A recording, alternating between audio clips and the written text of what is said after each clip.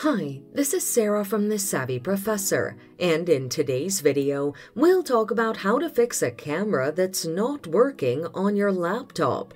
Watch the video until the end to learn how to do this and more. The following are some of the reasons why the camera isn't working on your laptop. Number 1. Camera access permission is disabled. Number 2. Outdated camera drive. Or number 3 unknown software problems.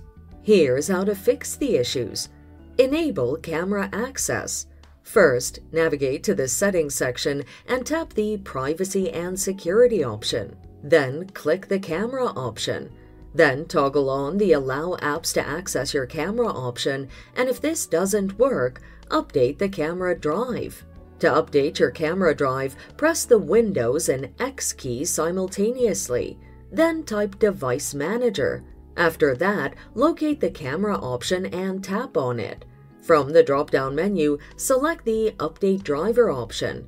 Select the Search automatically for updated driver software option. If this doesn't work, run the Hardware Troubleshooter. Tap the Windows search box, then search Control Panel and tap on it.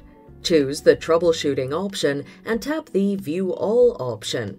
Proceed to choose the Hardware and Devices option and then click Next. Adhere to the instructions to facilitate the action. And there you have it. Follow these steps to fix a camera that's not working on your laptop. Thanks for watching. Till next time.